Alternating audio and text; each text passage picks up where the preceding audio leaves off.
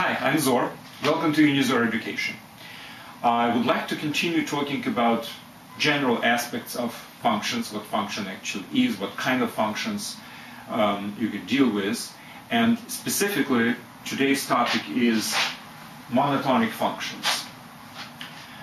Um, so, very, very briefly, monotonic means it's basically either increasing or decreasing. It's kind of natural uh, understanding of what this function is about. But let's talk about what it means, increasing or decreasing. Um, first of all, if this is a function, it means there is a domain to this function where the function is defined, and there is a range, there is a codomain. Now, um, let's ask the question. If I have a function which um, for each flower puts into the correspondence the color. Can we talk about increasing or decreasing of this particular function? Obviously not. So what does it mean? The function is increasing or decreasing? Well, first of all, it means that in the domain there must be something which we can talk about as a relationship less than or greater than or equal, etc. Now, the most typical example of this domain is real numbers. So basically, in the mathematics we will be dealing with, mostly we will deal with the functions which are defined on the domain of the real numbers. And among real numbers, we do have this relationship. We can say that one particular real number is less than another. Okay. Now, since we are talking about increasing or decreasing, the same kind of relationship must exist among the values of the function. Now, the values belong to the codomain. They are in the range of the, fu of the function. So, wherever the function takes the values from, also should be the same kind of relationship. So, we can always talk about two particular values of the function, function of 1 should be less than or greater or equal, whatever, than the value of the function uh, uh, at another point, at another value of the, of the argument. So, to define increasing or decreasing functions, we have to have a relationship like this one, less than or greater than or whatever, um, among the uh, arguments and among the values of the function. And again, the most typical uh, example of such a set which has this type of relationship is real numbers. We can always talk about two real numbers as one being less than another. So, to make the long story short, we are considering right now, when we're talking about mono, uh, monotonic functions, we're talking only about the functions which are defined on the domain of the real numbers and take the values real numbers. Okay, that's done. No flowers, no colors. We're talking about numbers, real numbers, two real numbers. Now,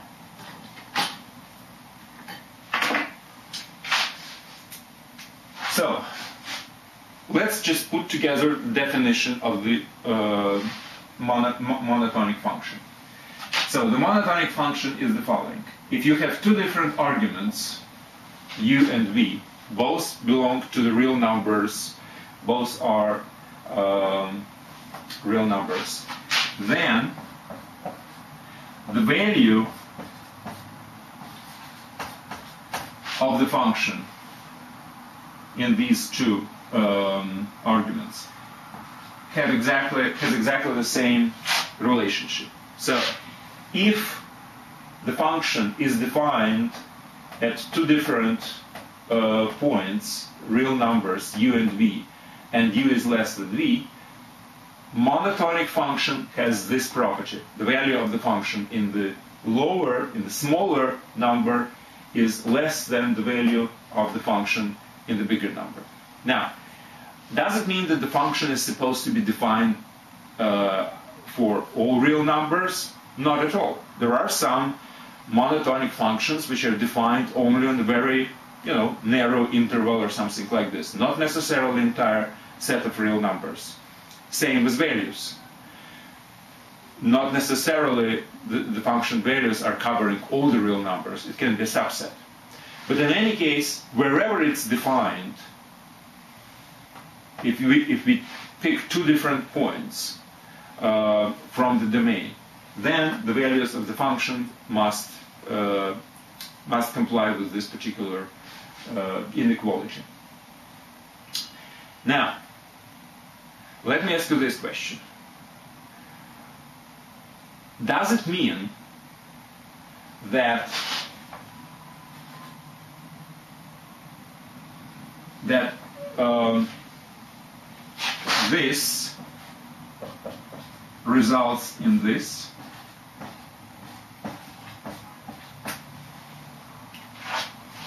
So if the function is monotonic, so for any two numbers, one is less than another, the values of the function are in exactly the same relationship.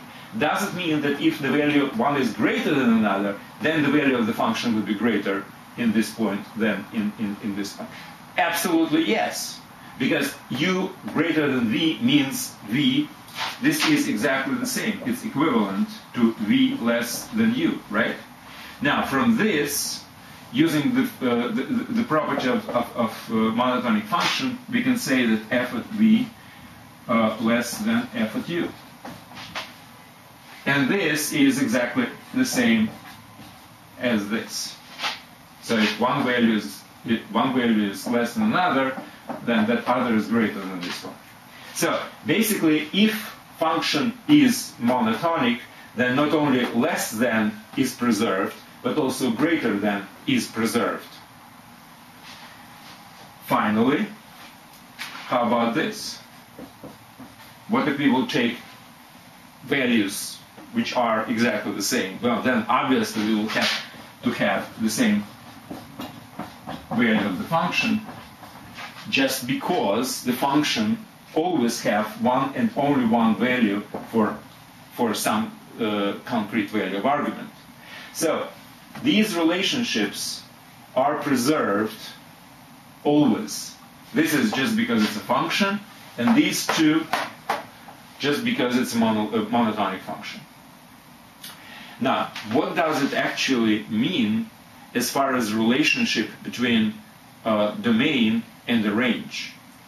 Well, the very basic and very fundamental and extremely important property is that monotonic function establishes something which we call one-to-one correspondence.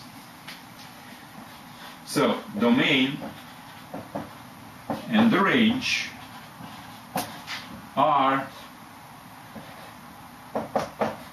in one-to-one correspondence relationship. What does it mean? It means for uh, any one uh, value of the argument, we can find the value among the range. And for any value in the range, we can find one and only one, that's very important, value of the argument.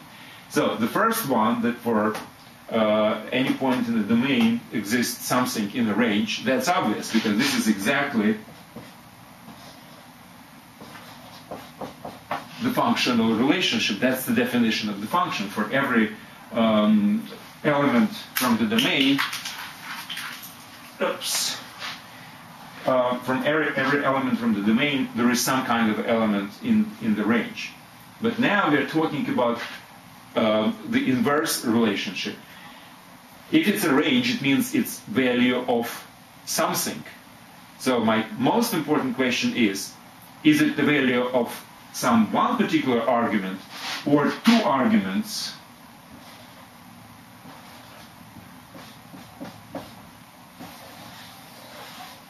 are uh, actually uh, uh, mapped to the same value among the range. Now, that is impossible. For a monotonic function, we cannot have two different arguments which are pointing to the same value of the function. Why? Because of this. If, if, if these two arguments are different, then one is less than another, which means that the corresponding value of the function should be less, not equal, less than another. So, if we will take any element from the range, which means it's the result of the function applied to something. So that something should be unique. It cannot be the same value. This is impossible for a monotonic function, just because the monotonicity of the of the function itself. If arguments are different, then because of this, function values must be different, which means for every single point, every single element in the range, there is one and only one element in the domain function of which is equal to that element of, uh, in, in the range. And that's what it actually means one-to-one correspondence. For every element in the domain, x, we can find the corresponding value of the function, just applying the function itself. But then that particular element from the range can correspond to only this particular value of the function it came from. There is no other, because other would be less or greater, and the function value will, will not be the same. So, one-to-one correspondence, that's extremely important for monotonic functions. And one of the consequences of this one-to-one correspondence is existence of the inverse function. So if you have domain to range with a function f, so x goes to f of x.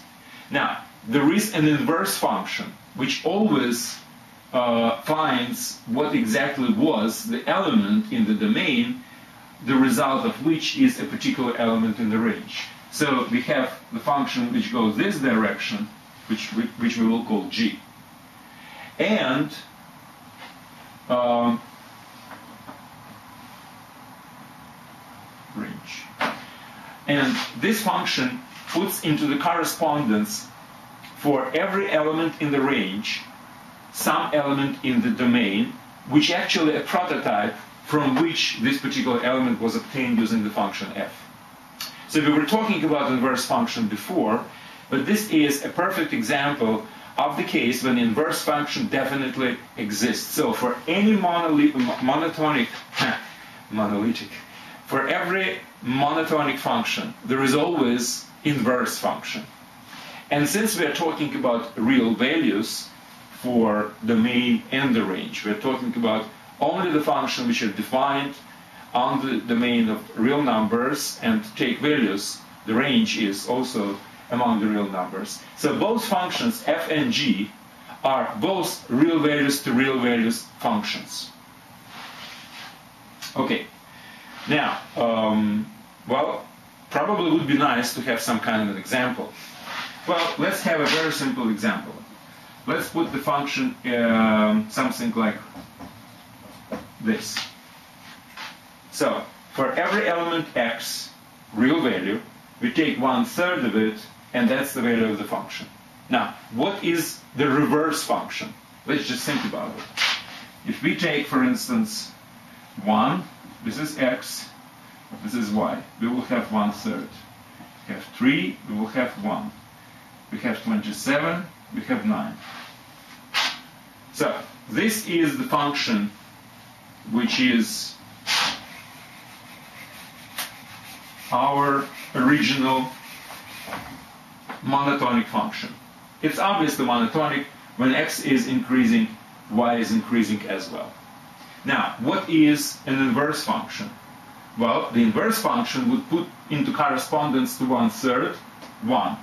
To 1, it will put into correspondence 3 to 9, 27. So obviously the inverse function would be this. And it's also monotonic.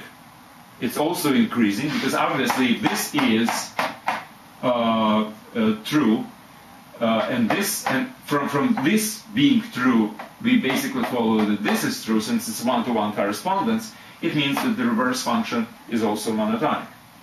So, but now these two functions are inverse to each other. Both establish one-to-one correspondence between all the real numbers, in this case the main is all the real numbers, and the range is also all the real numbers. And this is just one of the examples. Another example would be, for instance, just give another example. One function would be y is equal to uh, uh, cube root of, uh, of x, and inverse function would be x cubed. Now, let's just think about it. If we will start with some domain uh, element, for instance, 27. Now, if we will apply this function, we will get 3, right? The cube root of 27 is 3. Now, if we will apply this function now, 3 to the power of 3 would be, again, 27.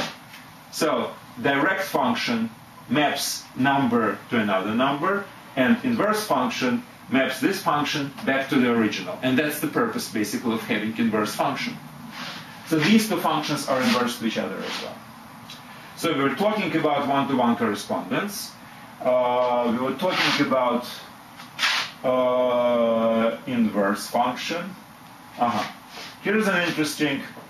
Here's an interesting um, uh, comment which I actually planned. This is my plan, by the way. I, I, I planned to mention. So we know that every monotonic function establishes a one-to-one correspondence between range, uh, between domain and the range, and there is an inverse function. Now, here's my question. Is opposite true? So, if, for instance, uh, we have a function which has inverse function, a function which establishes uh, one-to-one correspondence uh, between domain and the range, does it mean it's monotonic? The answer is no. And to prove it, let me just make the following example. I will use the graph, although we didn't really talk about graphs much, but probably you understand what graph actually means. And here is the graph of the function. I will start with the graph and then we'll derive the formula. So let's say I'm defining the function only on this particular uh, interval from minus 1 to 1.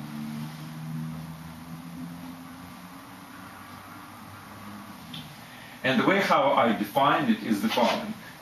Here I will define it this way, but here I define it this way. I'll put a little arrow here, which means that at point zero, function is equal to zero according to this graph. So this is x, this is y.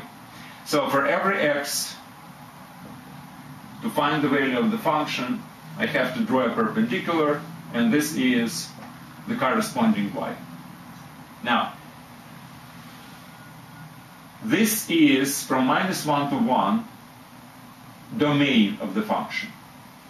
Now, this is, let me just make it a little better here. Don't need this anymore.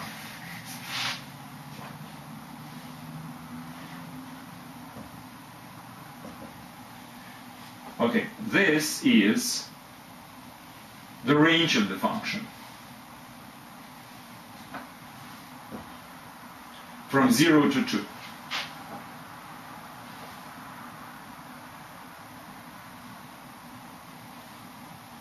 Okay? This is 1, this is 2. This is 1. So the function is defined from minus 1 to 1, and for each value x, to find the value of the function, we will uh, draw a perpendicular to the x-axis, to the intersection with my graph, and then to the right or to the left to get the value of the y. Now, is it uh, the function which defines one-to-one correspondence? Oh yes, absolutely. Pick any point here, you will get the point uh, uh, on the y.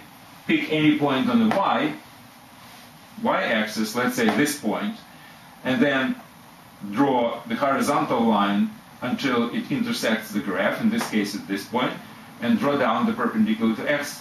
Now, if it's something else, let's say this is y, then you draw the line parallel to x until it intersects the graph and go down.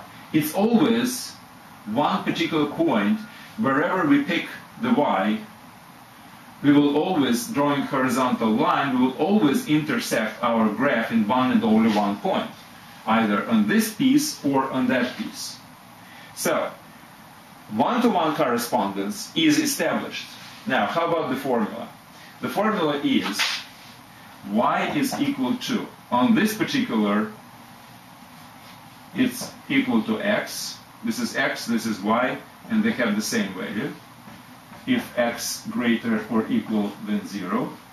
And this is minus x plus 1.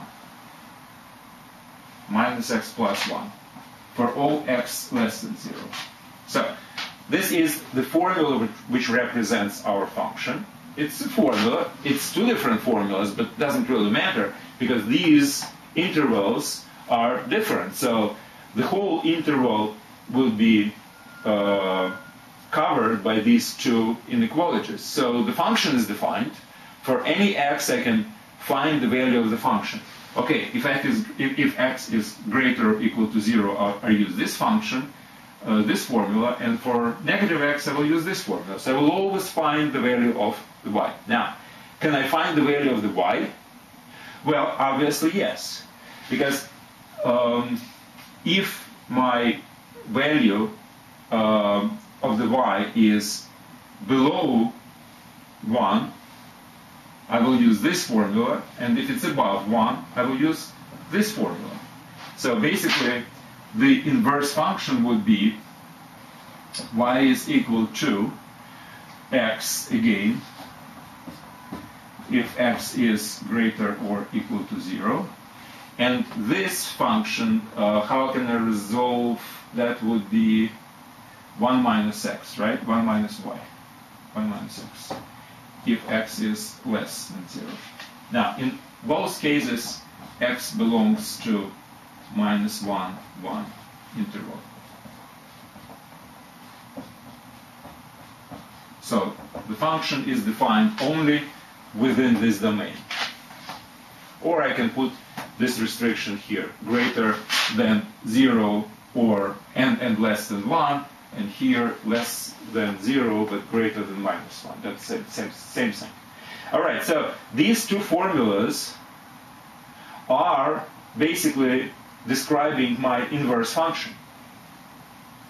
So inverse function exists in many cases, not necessarily in the case of monotonic function, because this function is obviously not monotonic.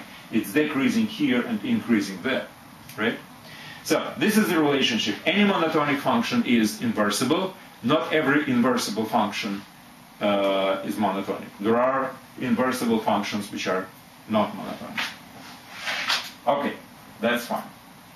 And now there is an interesting aspect of inverse function, which is more about inverse than monotonic, but obviously since every monotonic is inversible, so it's true for monotonic function as well. Let's talk again about the graph of the function.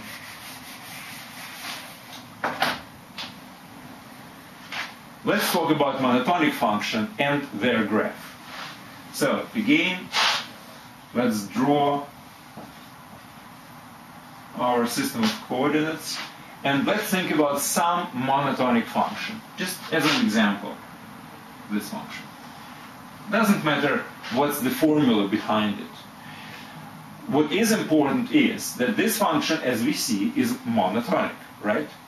Question is, how will the graph of inverse function look like? That's very interesting. Now, let's think about it this way. Let's say this is the graph of the function uh, y is equal to f of x.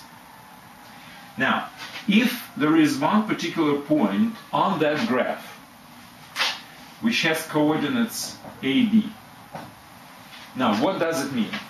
It means that if I will draw down, I will get to the a, and if I will draw, draw across, I will get to the point b. That's what it means. Now, again, it's a little bit ahead of all my discussions about graph, but if you want, you can go there and then return back to this. Because it's important property of the uh, inverse, inversible and, and therefore monotonic functions as well. So if the function belongs to a graph, it means that projections on both coordinate axes are correspondingly A and B.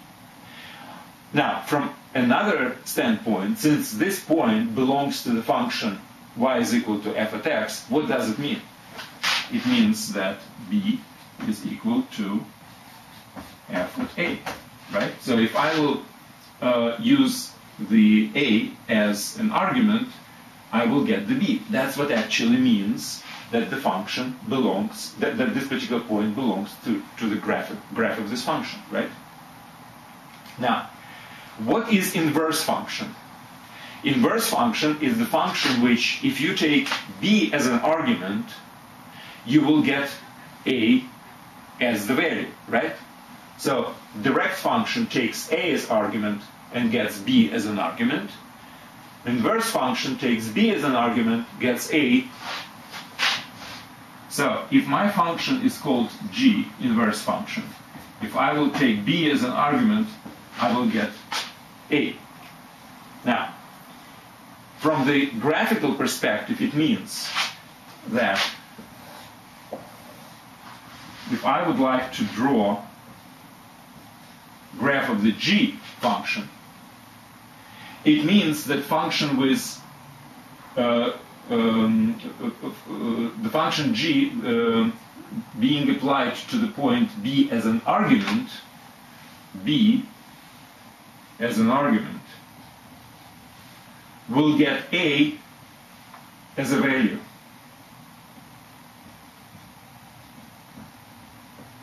This is point AB, uh, sorry, BA.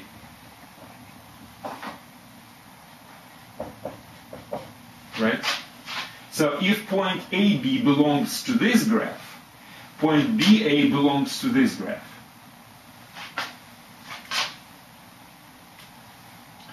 So always, if there is a one point which has coordinates a and b on the graph of the function y is equal to f at x, and there is an inverse function which which can be uh, designated as y is equal to g of x.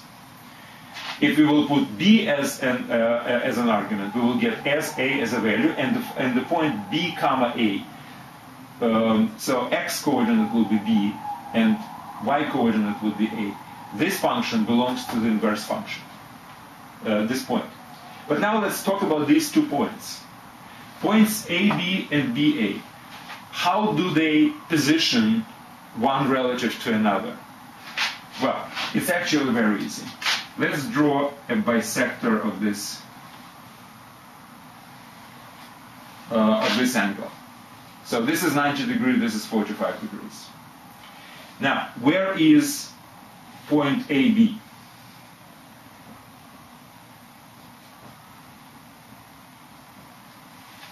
Now, well, the very easy uh, statement in this case is that these two points are symmetrical relative to, to the bisector.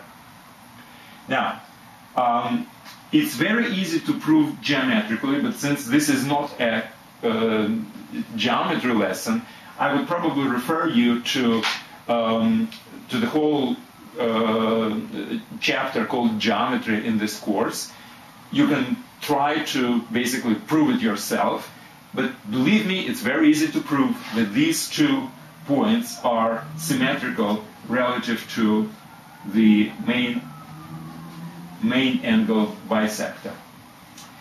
Which means basically that the whole graph of inverse function uh, of inverse function would be symmetrical relative to the bisector. So let me again um, draw. Let me try maybe different color.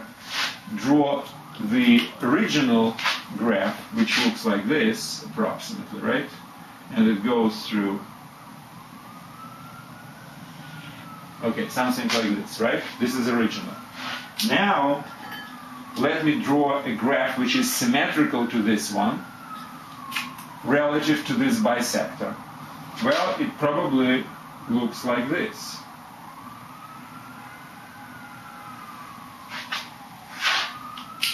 So these two graphs are symmetrical relative to the angle bisector. This is the original monotonic function, and this is an inverse function. So inverse function always symmetrical with the, uh, with the, the original function relative to the angle bisector. Well, that's actually all the general properties of the monotonic functions which I wanted to talk about today. Um, as usually, I do encourage you to register um, as a student, have somebody, or maybe yourself if you want, uh, act as uh, and register as your uh, supervisor or parent, maybe. Go to unizor.com and try to take the complete course with all the lectures, exercises, and exams, which is very, very, very important. Good luck. Thank you very much.